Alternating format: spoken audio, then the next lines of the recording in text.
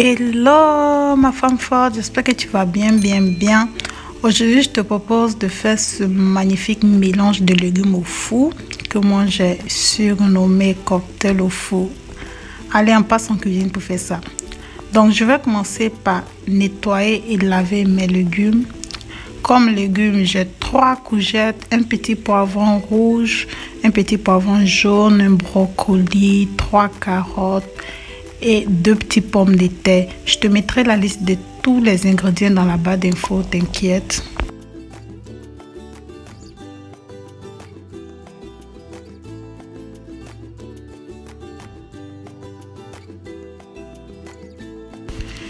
Je prends ensuite mon récipient en verre dans lequel je place mon papier sulfurisé. Je vais par la suite découper mes légumes et les renverser directement dans mon récipient. Bon, je commence par la carotte. Pour les légumes qui sont assez durs à cuire, je vais les découper assez finement. La carotte, je la fais en deux et ensuite je la découpe pour environ 1 cm. Je vais faire la même chose pour mes poivrons et mes pommes de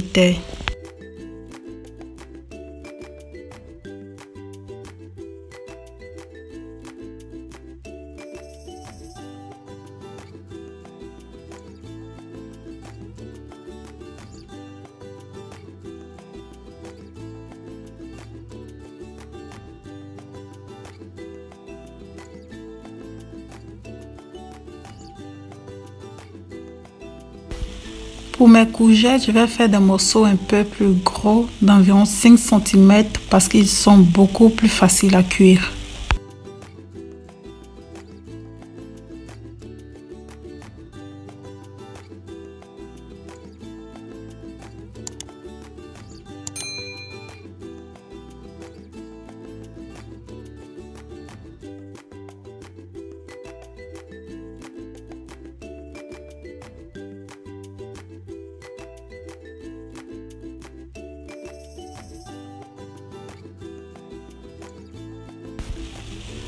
Pour ce qui concerne mes brocolis, je vais venir séparer la tige, disons, des fleurs. J'ai besoin que des fleurs de brocoli, donc je vais venir soigneusement séparer une à une les bouquets de brocolis pour vraiment séparer les tiges des fleurs. Voilà.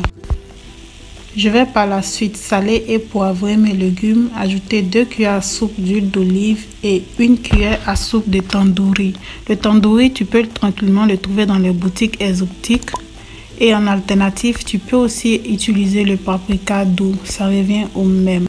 Je mets mes légumes au four préchauffé à 180 degrés pendant 25 minutes.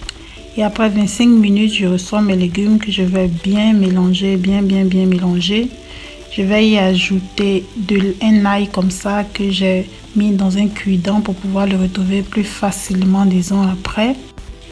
J'ajoute ensuite l'équivalent d'une cuillère à café de persil haché et deux cuillères à soupe de chapelure sans gluten. Je te mettrai le lien d'où trouver la chapelure en bas d'info.